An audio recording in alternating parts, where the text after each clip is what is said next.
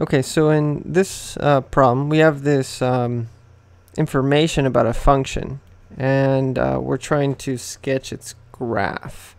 So um, let me, uh, you know, just draw an axis here.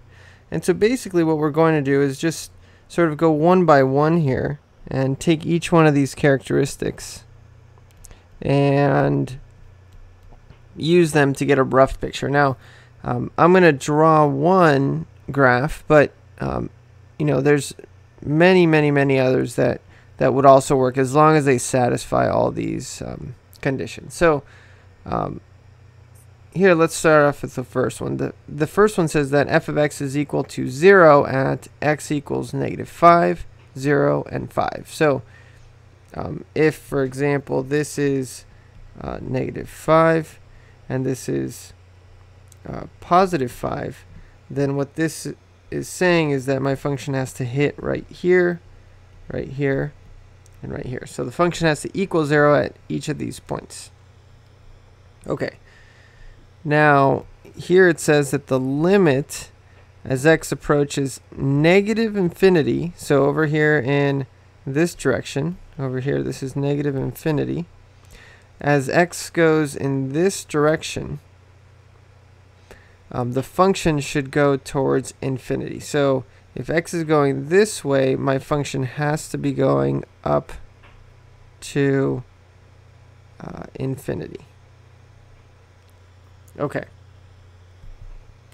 Now the next one, uh, the next condition says, okay, um, the limit as x approaches positive infinity, so over here on this side, positive infinity, should equal to negative 3. In other words, if, you know, negative 3, let's just say this is negative 3, my function should be approaching negative 3. So I don't know where it's coming from, but this is basically saying that on this direction, on this side, the right side, I have a horizontal asymptote there.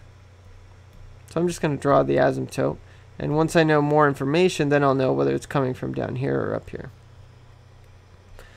Okay, and then this last condition says, okay, um, f prime of x is equal to 0 at uh, x equals negative 3, 2.5, and 7. So at each of these points, my function should be flat, right? Because the derivative equals to 0 means that you have either a, you know, high spot, a low spot, maybe uh, that one's not very good flat spot like that. Um, so here, let's, uh, so here I should have a, a flat spot. So right here um, at negative 3, so let's say negative 3 is right here. And at x equals to 7, let's say 7 is right there. So it, at each one of these little arrows, it should be flat.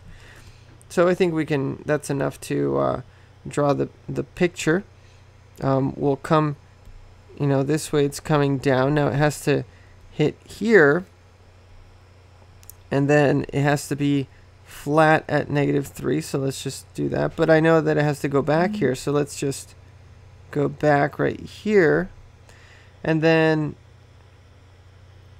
um, I know that it's um, flat here, so that means that it has to um, also have a uh, flat spot. So, um, but now, well, should it come down or, well, I know that, um, you know, um, since there's nothing between here and 5, well, I could either uh, come down and then uh, come back up, or you could have also gone up and then down. So maybe I'll draw a couple of different variations that still satisfy all these. So just to give you an idea of what what the variations are. But I know that it's going to hit right here. And then it has another flat spot right here. But then I know that it has to go towards um, negative 3 as you go to infinity. So it has to come back down and then follow this point right here. Um, so now just to kind of give you another idea of what else could have happened, um, you could have also had a function that comes down here, and then maybe you know, it doesn't specify that it has to be flat here, but it doesn't say that it can't be. So you can just make it touch there, be flat here, and then come down here, and then come back up, and then come here, and then let's say it comes back up, flat, and then comes, and then goes that way. That's also allowed. So, you know, there are lots of different variations that you could get. Okay, so here we have quite an interesting problem. We have two functions. Uh, g of x is square root of x, and f of x is kx squared, where k is a constant. So it doesn't specify what uh, k is.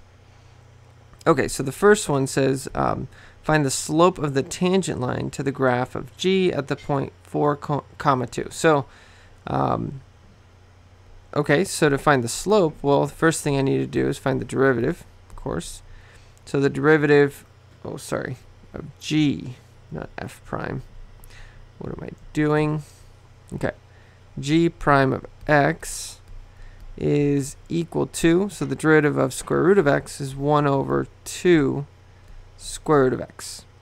And so then uh, the slope is equal to plugging in the point, the x value, in this case 4, into this guy. So 1 over 2 square root of 4, this gives me 1 fourth. Okay, so this is the uh, slope. Okay, now if I want to find the equation, well, next thing I need to do is find the um, the y-intercept. So I've got uh, y equals to mx plus b. Um, and so I'll plug in what I know. I know that my slope is 1 fourth. And I know that my x value is uh, 4. And I know the y value is 2. Okay, so that's great. Um, so this means that uh, b is going to equal to 1 when I solve for it, right? Because 4 times 1 fourth, that's 1. You move it over, and so you get b is equal to 1. So then uh, my tangent line, my equation, is y equals to 1 fourth x plus 1, mx plus b. Okay, so that's the equation of the tangent line. Okay, now for C, um, it says that if the graph of f contains the point 4 comma 2, find k. So what, what this is saying is, so f of x is uh, kx squared. Now what it's saying is that it contains the point 4 comma 2. So if you plug in 4 for x, uh, y is equal to 2, or uh, in other words, f of, f of 4 is equal to 2. So, um, you know, with this information, well, you, you can solve for k, because then 2 is equal to uh, k times 4 squared, which is 16. So then um, k is simply equal to 1 over 8. Okay. Let me break this up here. Okay, so I've found K. Um, so then, um, why don't I might as well, uh, let me just write down now, f of k is constant.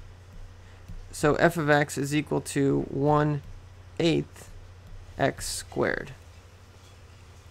Um, okay, so then it says, okay, where does the graph of f intersect the tangent line found in part B? So in other words, it's asking where does this function f equal to this line 1 fourth x plus 1. So, you know, what we're doing is we're solving the equation.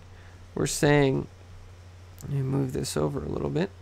Um, when does 1 eighth x squared equal to 1 fourth x plus 1. So um, to solve this guy, well, the easiest thing to do first is let's just get rid of um, the fractions, everything. So let's just multiply everything, both sides by 8. So that would give me x squared um, equals to 2x plus 8 when you distribute everything through. And since this is a quadratic equation, let's move the uh, 2x to the left and the 8 to the left.